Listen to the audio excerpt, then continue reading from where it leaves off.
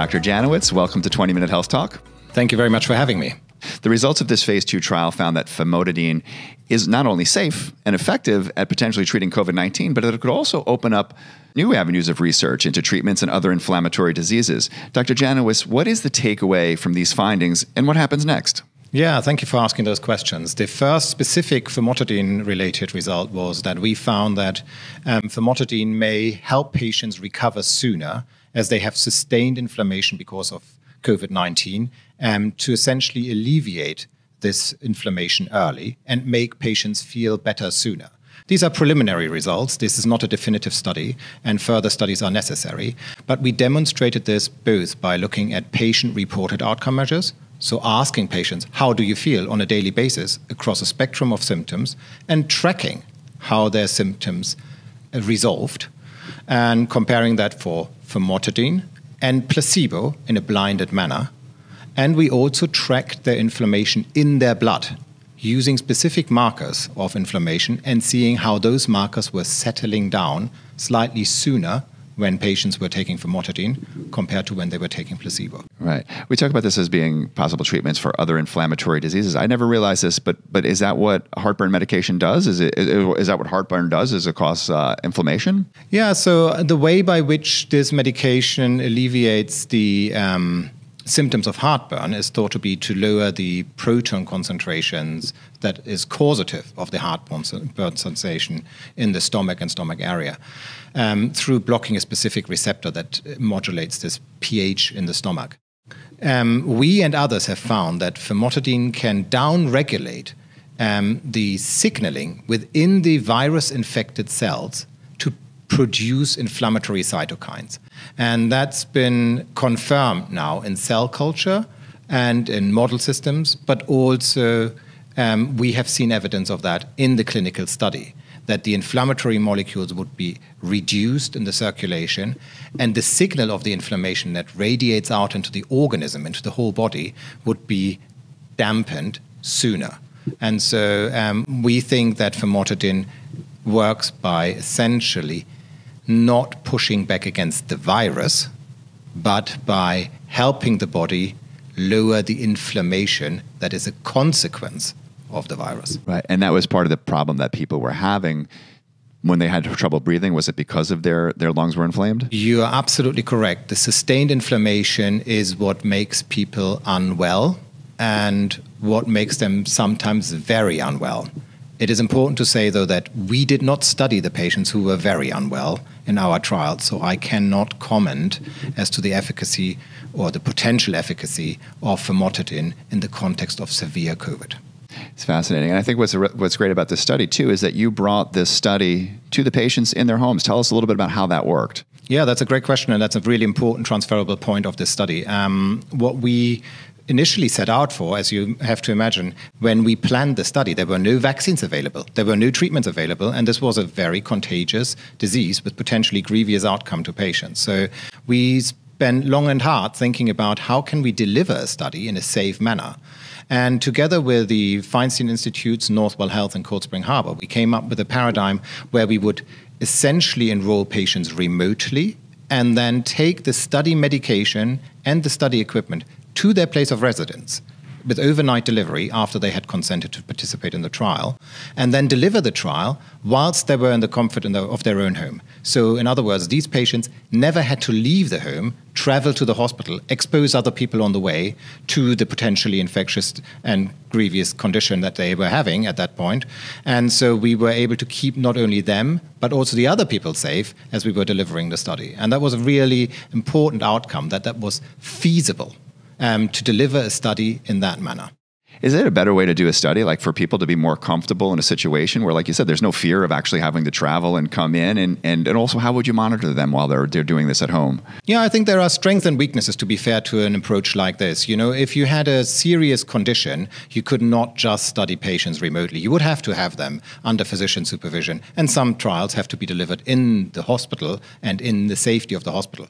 Some drugs are given by infusions. Sometimes patients need to be close to an intensive care unit if they were to get less well. But in certain conditions, when um, the perhaps the patient is not quite so severely affected, and when perhaps the patient would prefer to be at home. Um, that can be the case in certain infectious conditions, but it can also be the case in conditions that make you feel unwell, like, for example, progressive cancer, which is something that I think a lot about, and where we were initially planning to deliver this disease paradigm, uh, this, this trial paradigm, which we then lifted to apply it to the COVID situation. So, how were they taking? Were they taking it orally? Yeah, that's correct. So what we did is we developed um, with a company a way to um, essentially overcapsulate the medication so that it was indistinguishable between placebo and the treatment. They were coming into, into a wide, large capsule that could be swallowed orally, and they would take um, this medication three times daily, albeit at a much higher dose than you would take it over the counter for heartburn. So we delivered 80 milligrams three times daily as a capsule um, rather than 20 milligrams once to twice daily. Yeah, and I think that's what's so fascinating about research and clinical trials. So many times when when you're looking for one thing, it may unlock something else. Yeah, sure. There are many examples, especially in my area of expertise, true expertise in medical oncology, where um, initial studies have been conducted to find out if a drug works in a certain way in a certain condition. And people realize that perhaps that's not the case, but something else might be the case. And then they can take it back into the laboratory, confirm that, that secondary finding, and then bring it back into clinical trials to perhaps make an impact on another condition. What was the timeline of this study? Um, so we initially had some indication that perhaps patients who were on famotidine were doing slightly better. And so the first thing that we did, we did a case series, which is um, l- preliminary clinical research. Then we de- developed this phase two clinical trial, which is a randomized placebo controlled trial. So that's a strong study but with small patient numbers. So it's not an efficacy study. It looks for ways to how to discover efficacy in further further clinical trials, and that trial was. Um, started in July after we published the case series in July 2020, and the results were published early this year in 2022. Um, I think what is important from my perspective is, is the other extended findings that we learned from the trial, because those we are hoping to take forward. So, when you say take the other findings forward, what you, can you expand on that? Yeah, so the things that were really important for us was to demonstrate that, uh, firstly, a trial could be delivered in this remote, decentralized manner, perhaps. So you could imagine this is perhaps transferable, say, if you wanted to study a rare condition across the United States, where you have 300, 400 patients spread over an entire country, and you could have a central hub, ship out the trial to the patients, and somebody from Texas, somebody from Maine, and somebody from Vermont could sort of enroll in this study and be part of the study, and it could be safely delivered, perhaps, um, with a central hub where we collect data. And so that opens up a completely new way to perhaps deliver clinical studies, and that is worth to explore further. Um, the other point is um, the study was very inclusive, and that is one of the big challenges of delivering healthcare for, as we are now trying to develop new clinical trials and trial paradigms, and um, to reach out to patients and patient populations who would not normally participate in clinical trials so much. And we had um, 33% Black African American participants in the study, 25% Hispanic patients in our study. And um, we believe that one of the reasons why that was possible was because we made it easier for them to um, enter clinical trials and to lower the access barrier because um, we would take the sort of effort or and the cost of the clinical trial down by bringing the trial to their own home. Yeah, I think it's so much easier, right? When you're doing something in your home, it's it's much more easy to be a part of that does that create problems as far as like how do you track? How do you make sure they're taking their medication? How do you know that everything is is going to be correct? Yes of course. New paradigms new problems new challenges let's say. Um, and so these challenges have to be taken um, one step at a time. We were able to follow each patient every day by having a dedicated person who would call them up who would monitor their data that would, they would send in every day. With regards to the drug concordance um, that you're asking about, we would um, tackle that in two fronts.